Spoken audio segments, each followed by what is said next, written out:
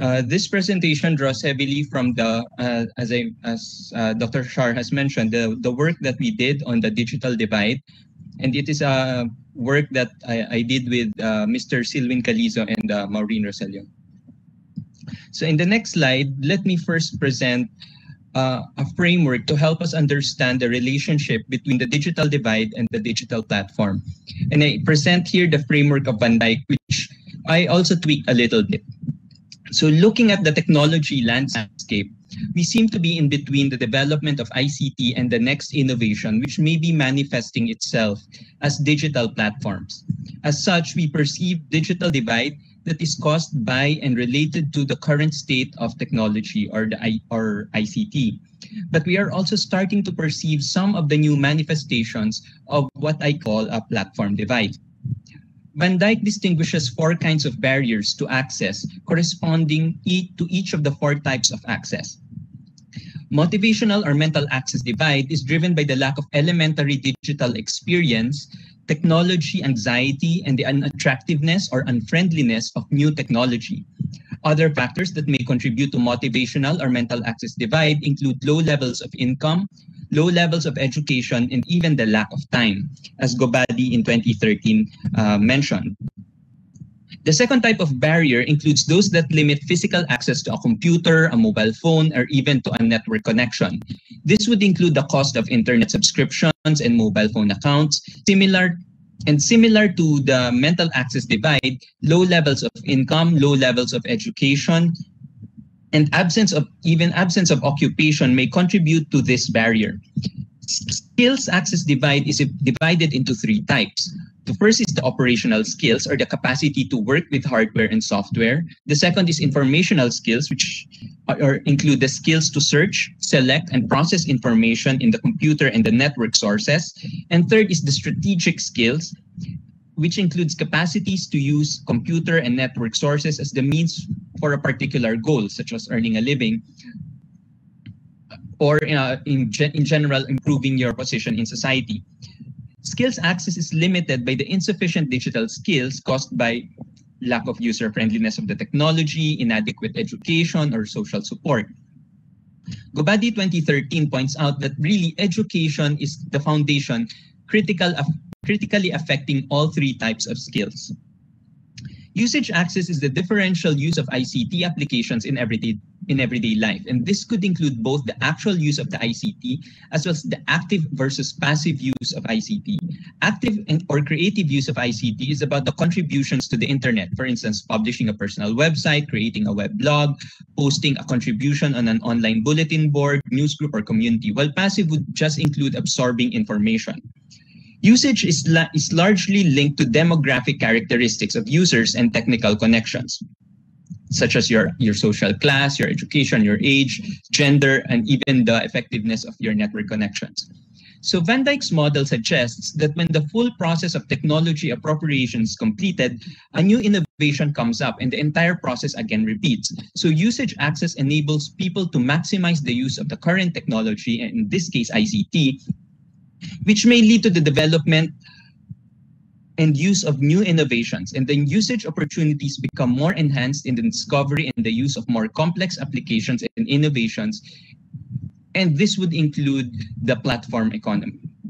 So guiding now, guiding us now here, this framework, let me just present um, some barriers, some some examples of the, for instance, uh, motivational access, which refers to to the in the next slide, um, Motivational access refers to the desire to have a computer or a mobile phone and be connected to the internet. And this desire is affected by social, cultural, or psychological factors. One of the main barriers for accessing the internet would be not knowing what it is and what it can do. And in a survey conducted by Wu et al. in 2016, in 11 countries from 2014 to 2015, it was found that over two thirds of those currently offline did not know what the internet is. And for instance, only 13, 11, and 5% knew what the internet is in Thailand, Indonesia, and India, respectively. So in the next slide, let's talk about the Philippine case. Those who are aware of the importance of the internet and perceive that it is important would have already hurdled a significant barrier to internet use. For the case of the Philippines, motivational barriers to internet use include awareness, interest and trust, and security issues. This is revealed by the results of the ICT survey conducted by the DICT.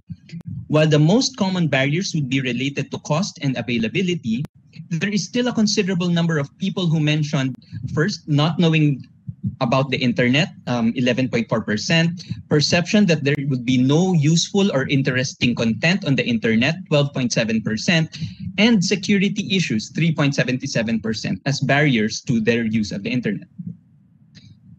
So now let us look at the other indicators um, of digital divide in Asia to see certain patterns of the population having better access to computers and the internet.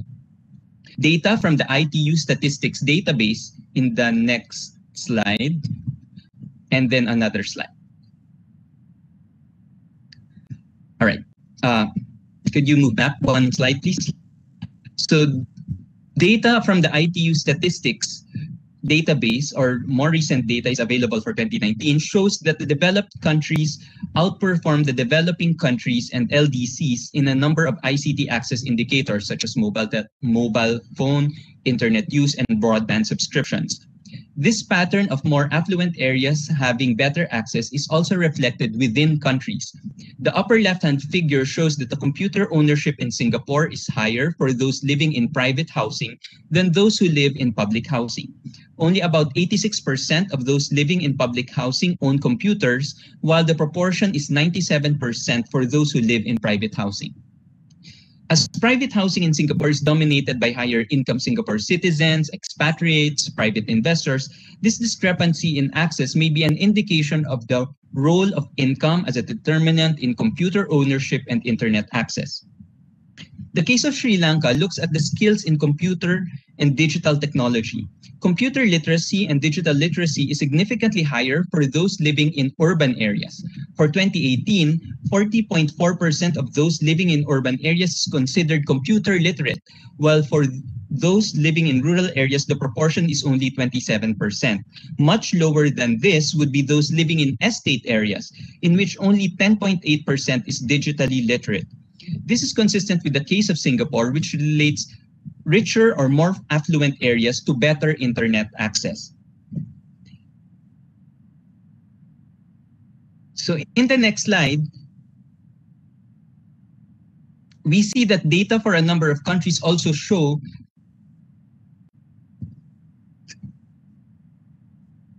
All right.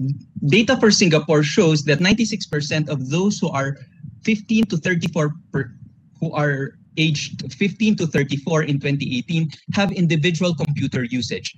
And in contrast, the proportion is only 33% for those who are 60 years old and above. So this is an indication that there's better digital access for those who are not so old and not so young. So there's essentially in the middle. For South Korea, the pattern for mobile internet usage is almost similar, although the peak is much wider. So it's around 20 to 49 years old. Also, those 60 to 69 years old still has a much higher mobile internet use, but the statistic is significantly lower for 70 years old and above. The discrepancy in access by age groups is not only for material access, but also in terms of skills, as exemplified by the case of Sri Lanka. Those who are computer or digital literate is highest among 15 to 19 and 20 to 24 years old. The younger age groups are from 5 years old to 14 years old, and the older age groups from about 50 years old to 70 years old have smaller proportions and following very similar patterns to Singapore and Korea. Similarly, the pattern is uh, very is followed very closely by China. Internet users are mostly around 20 to 13, 20 to 29 years old or 30 to 39 years old. The age group with the lowest proportion would be those below 10 years old and those above 60 years old. And then in terms of gender, we find that ICT access is commonly better for males than females. Data for a number of countries also show that ICT access is commonly better for males than females. The data on internet users for India and China show that internet users are mostly male. And not only ICT access is higher for males, data for Sri Lanka also shows that females have lower computer and digital literacy than males. But for the Philippines, this is an is is not the same. The Philippine case is actually the females that have better access to the internet. In terms of skills divide, data for the Philippines shows that the more highly skilled segments of the population, the college, the high school, and those who are um, vocational, um, have education, vocational, tend to use the computers for more productive or advanced tasks. Interestingly, the least advanced tasks, such as entertainment and gaming related activities, would have high participation of both skilled and unskilled segments. But while the task involving data management and analysis, modeling and simulation, would involve only those that are highly skilled segments of the population. So these segments, uh, in the next slide, let me just try to sum things up. So these segments are also the ones that are more likely to benefit in the platform economy. So what are these segments? Those that are living in affluent areas, those who are aware, uh, could you move back? those who are aware of um, more aware of the internet and perceive its usefulness those who are not too young or not too old and those who are male these are the ones who are more likely to benefit from the platform economy mainly because of the the they are able to um, surpass the barriers of access. All uh, four types of barriers. So now let's look at um, examples. So the and these segments are most more likely to benefit from the platform economy. So let's look at the next slide. So looking at the motivational barriers to trust, we look at the relationship of e-commerce and corruption. Corruption tends to breed distrust in the policy environment, and such distrust may affect the use of the digital technology to undertake e-commerce transactions. The platform economy is largely associated with digital transactions in e-commerce. And we find here that the figure shows that the countries associated with low incidence of corruption, for instance, Singapore, Japan, Switzerland, Israel, these are associated with higher rank in the e-commerce index, so more likely to have um, e-commerce transactions. In the next slide, we show that the participation in digital platforms again is more common to the not so young or not so old, similar to the what we have seen in terms of access to ICT. And this can and this pattern can be seen in, in a number of countries like China, Japan, India, Canada, Philippines, and even Taiwan. What is interesting would be for the Philippines, well online shoppers are highest for around the 18 to 24 years old, there are on, these are only the second largest online shopping group it's actually the 25 to 34 years old that uh, per, is the highest. The per, and this is perhaps because that this is the group that is earning more relative to the 18 to 24 years old.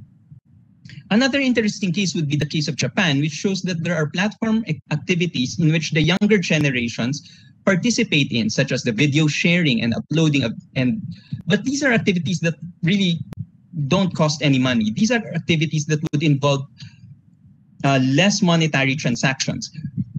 The activities that would involve monetary transactions would be higher among those that are already working. Again, an indication that maybe income is a, is a determinant of the use of digital platforms. As shown in the earlier figures, those who are more educated also tend to use computers for more advanced tasks. And uh, again, exemplifying uh, in the next slide, we want to show that the digital skills are important to maximize the use of the digital economy.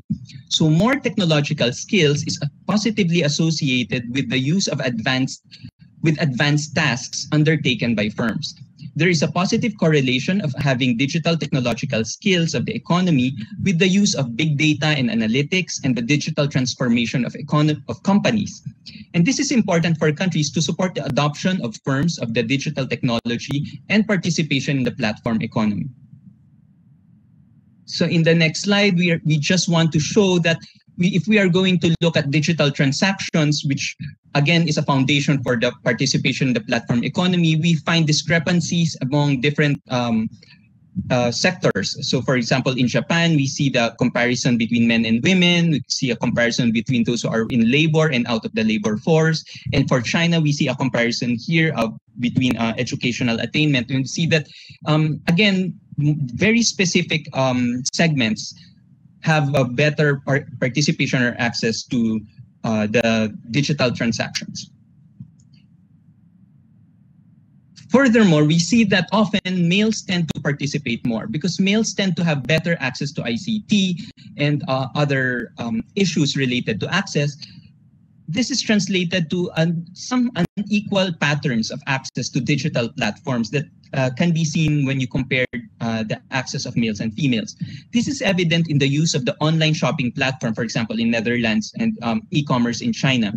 So not only in terms of e-commerce and online shopping, uh, uh, could you move to the next slide, please? All right. So we, what we want to see here is that if we look at the middle uh, figure, we see that for South Korea, um, ride-hailing services is relatively unequal for the less popular mobile apps in South Korea. While females typically use the two most popular apps, the males actually have better or more choices. They're the ones who are using also the less popular apps. Maybe because this is an issue of security, issue of uh, better access, and um, better of um, more trust in the other uh, apps. Again, putting the females in uh, a disadvantageous uh, position. All right, so in the next slide, let us talk about other um, issues. So we're looking at uh, digital transactions, but let us see about the case of e-learning. So what we have here is we looked at the uh, TESDA online program or the TOP. So the map shows that 16.5% of the TESDA online program registered users are residing in low HDI areas and 2.69% of the users are in severely poor communities the location of the 4,018 users that we were able to survey were overlaid with a map of the Human Development Index performance for each province in the country. And it shows that the correlation of users is higher in areas in which are relatively richer or more developed. Data also shows that the better skilled have better access. Usually the college undergraduates or the college graduates would register to the TESDA online program. Looking for at the case for other countries, we have found that the same patterns are, exist in terms of age. It is indeed those who are 18 to 44, again, the not so young and not so old, who are accessing e-learning in Vietnam. We also see similar patterns for um, in terms of age, but um, I, I, didn't uh, show it here anymore. How about uh, digital health, mHealth, mobile health? Mobile health is defined as the use of mobile services such as mobile phones, um, uh, patient monitoring devices, personal digital assistants, and wireless devices for medical and public health practice. Examples of mHealth applications provided in the survey conducted in 2015 by the GOE um, covered a broad spectrum of telephone helplines, text message appointment reminders, to mobile telehealth and mobile access to electronic patient information. So mHealth, global diffusion of e-health, can contribute to achieving um, universal healthcare services and through making services available to remote populations and underserved communities and providing mechanisms for data exchange on patients and services. And it can be used to increase access to provision of health services in areas where there is little infrastructure to support internet or traditional health services. So what we find here is that, uh, could you move to the next slide? I'm on mobile health. All right, so for mobile health, high income countries have more mobile health programs than low income countries. And this would include services such as providing information, collecting healthcare information, and providing health services. Again, we, we find here is that the more affluent areas tend to participate more in the digital economy and not just in the digital and the financial transactions, but also in terms of uh, education and health. So in the next slide, what I want to also emphasize is that platforms are also facing their own issues related to usage divide. And that is what the model of Van Dijk has already, is already saying. So in the next slide, let me just um, try to show you who what, who would probably earn more from Airbnb or the accommodation platforms. We can observe there that there's a concentration of Airbnb postings in the central districts and in the busy areas in Seoul and Singapore. And the same can be observed for Sri Lanka. Areas in the periphery, while having some Airbnb postings, do not enjoy the scale that is observed in the central districts. And it seems that there's a divide from those who have assets that have access to central districts and those that have assets that are from nearby districts and those that are um, far away from the, the tourist spots or the, the areas of interests.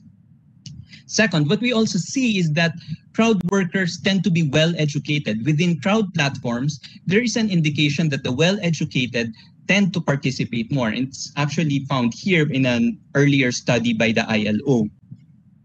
Next, we what we also find as another uh, of some platform divide is that um, usage divide could be seen in how Americans earn from digital platforms.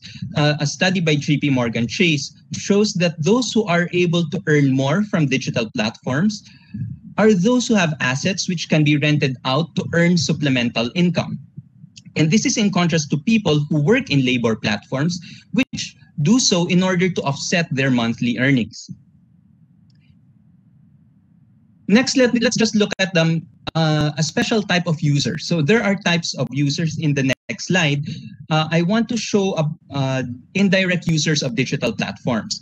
CUTS International in 2018 conducted a study on digital platforms in India. And based on their survey, 48% of respondents were aware that digital platforms can be used to transfer money to others. 37% are aware that can be used to make utility and tax payments, and 39% are aware that can be used to purchase goods and services. However, of those who are aware that the use of, of the uses of digital payments, only 25% actually make use of it, while some of those who do not use it 13% actually use digital payments with the help of others. So these are what we call indirect users.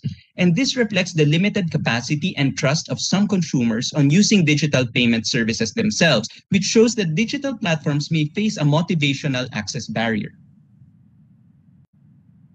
So let me just summarize three key takeaways in the next slide.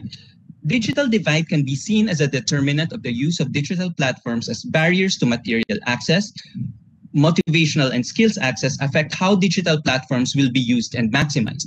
Platforms also face their own issues related to the usage divide, which may contribute to higher levels of inequality.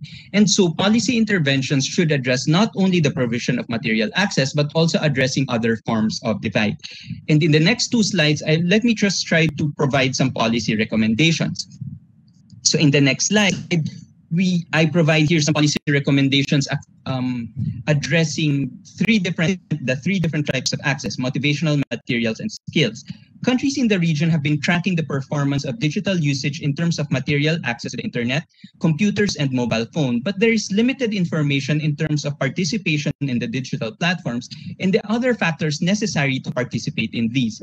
There should be moves to increase trust in the use of digital platforms. And together with this, there should be programs to increase the capability of consumers to make use of digital platforms in everyday life.